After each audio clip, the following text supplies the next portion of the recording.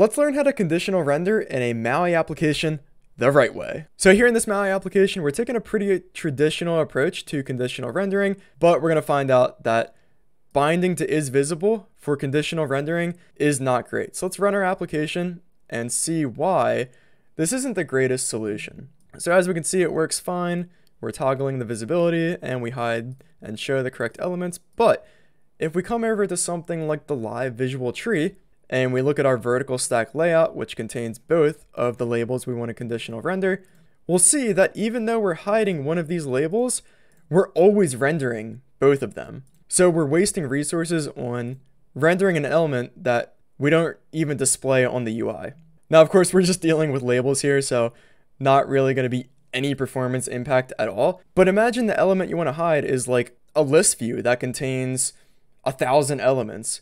It would be a waste of resources to still render that in your visual tree and then hide it. Like it's not even displayed on the screen, just a waste of resources to render it. So that said, binding to is visible, not the greatest solution from a performance perspective and even from like a usability perspective. It's not that great binding to is visible and doing these quirky bindings doing like an inverted bool converter. It's not that great. So we have two problems here. We want to address the performance issues and make sure that we're not rendering an element that we're hiding anyways and we would like the interface or the mechanism we use for conditional rendering to be a little bit better than just is visible bindings which again are kind of quirky so the first issue we're going to tackle is the performance side of it. So rather than doing is visible checks, let's switch this over to a content view. So this is basically just going to be a container for whatever element we want to display at a time. So starting off, let's just say by default, we're going to show the disabled text. So let's get rid of this is visible binding and we're just going to show this disabled label. And then whenever our is checked checkbox becomes true or is checked on our checkbox is true, we want to show this enabled label. And we want to overwrite this disabled label with the enabled one. So the way to do this is with a trigger. So we're going to add a trigger on our content view, specifically a data trigger. And we're going to have a binding on that, which is just going to be this binding. And whenever our is enabled checkbox is checked is true, so the value is true, then we want to replace, so we're going to re we're to use a setter to replace the content on this content view with our is or with our enabled checkbox. So we're going to open this up with a setter value and paste in our enabled checkbox. And we don't need to set this is visible flag. There we go. And that should be our solution for performance. I think one last thing for this data trigger, we need to specify the target type and that's going to be our content view. So the type that we're setting this data trigger on is the content view. So this should give us what we want. And when we start up the application, actually, let's just see it. Let's see what we're working with here. This should be fun. All right, so let's go to the live visual tree. As you can see, we're showing our disabled label. Oh, got to dig in here. So our content view, there we go, only has one label for our disabled label. But now if we come over and switch or check off this checkbox, show the enabled text, come back to the live visual tree. Again, we only have one label, this time for our enabled checkbox. So now we're doing true conditional rendering where we're literally not rendering the element that we don't want to show. But this is arguably more complex than the is visible bindings that we had before. Or at least it seems like it takes up more code. We have to dig into like data triggers and stuff. And really the concept of conditional rendering is a pretty universal thing. So we should be able to come up with some kind of abstraction to simplify this and build something that's easy to apply everywhere that we want to conditional render. And the way to do that is with a custom component. So let's come over to our project and we're to create a new item here. Just a regular class should do. And we're to call this if.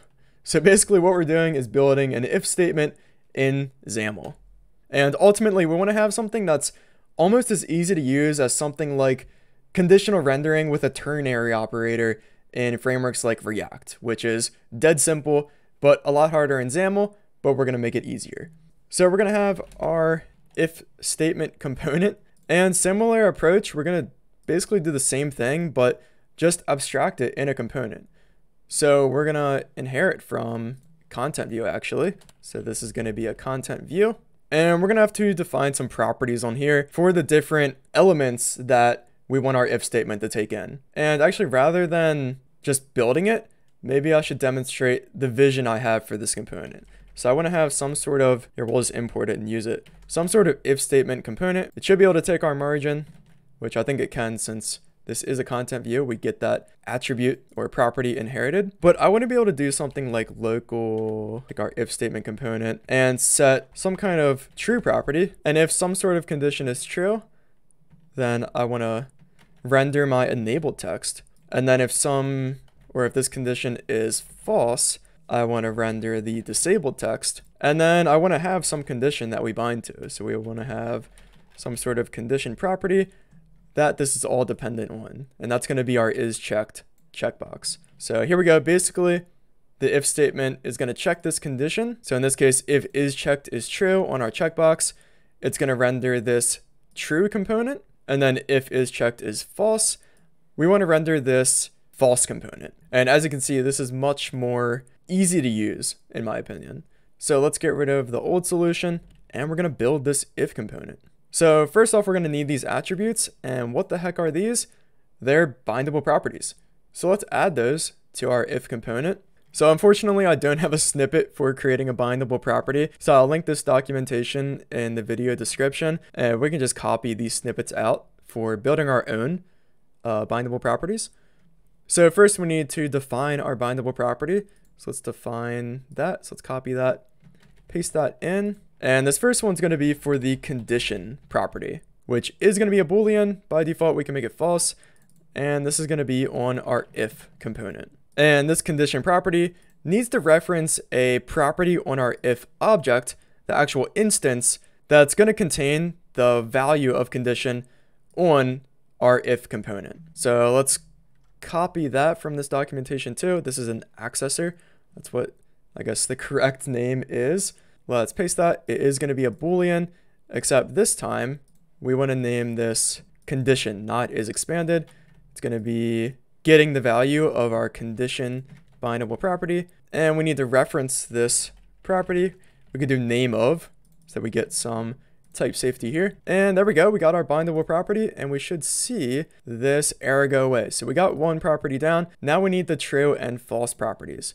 So let's start off by just copying these. So we're going to copy this once and twice for our two new properties. And this content that we pass to the true and false properties, these are views. So we're going to have a true property.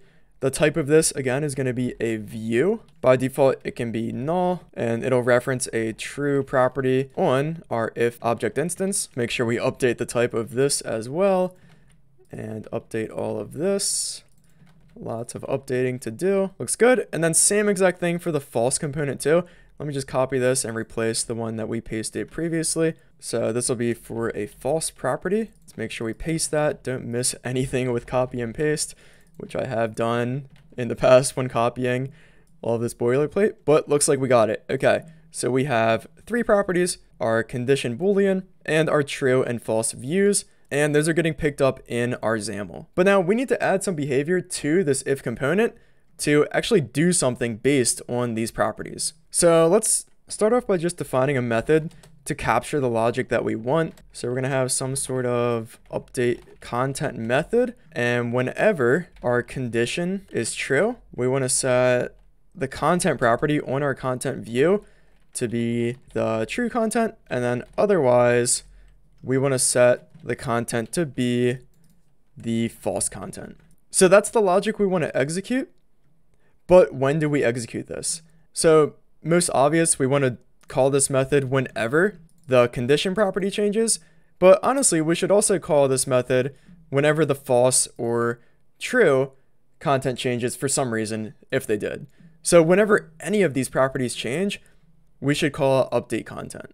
So the recommended way to tap in the property changes for a bindable property is actually up here on the bindable property create method. So we can tap on a property changed handler and let's call this on content dependent property changed. So this will be a single callback that we use for all of our properties. Let's generate this. So generate the method. Let's move this further down underneath all of our properties. And we want to set this property change callback on all of our bindable properties. So now, whenever a content dependent property changes, so either the condition, true or false components, then we simply want to call update content. But we can't do that. And the reason we can't do that is because this is a static handler. So since it's static, we're not within an instance of an if component. So how do we get the if component that we want to update the content for? Well, it's actually just this bindable object. So this bindable parameter that gets passed to this callback is our if instance that we want to update. So we can just do some casting here. So we're going to get the current if component, which is going to be our bindable casted to an if. And now we just got to take this current if and call update content on it. So let's summarize what we did. So we have a bindable property for the condition that we want to conditional render elements based on. We have a true view for the content we want to show when our condition is true. And we have a false view for the content we want to show when our condition is false. And we're correctly showing these different views based on the condition whenever one of the properties change. So now let's run this. This is going to be awesome. Here we go. So we fire this property changed callback on startup actually, and that's because we're initializing these different values, which is good because we do need to initialize the content, which by default is null. So that was successful. We show the disabled text, but then we click is enabled. Here we go. We hit our breakpoint. Looks like our condition property became true, obviously. So we call update content. Whoops, I stepped over it, but it did show the true content based on our new condition value. We can see that in the UI. We are rendering our enabled text now. And just to make sure, looking at the visual tree, we are only showing that single label. So we're, again, we're doing real conditional rendering and not rendering elements that we shouldn't be rendering that we're not showing on the screen. So one more thing I wanted to show, this if component is pretty flexible. So you don't need to pass in a false and a true element. You can only pass in one. So we could remove this false element and only have an element we want to display when our condition is true. And if we run this, it should work as expected. We show nothing when the checkbox is disabled. And then we click it and we show our enabled text. So pretty cool. We've taken care of some performance concerns with conditional rendering that would be an issue if we just did binding to is visible. So we're correctly conditional rendering and not rendering components that we're not displaying on the screen. And we've even created this custom if statement component that makes conditional rendering much more pleasant to work with. And this solution, it's only 50 lines of code, one file. Source code is going to be in the description. And feel free to apply this to your own MAUI application in order to conditional render the right way.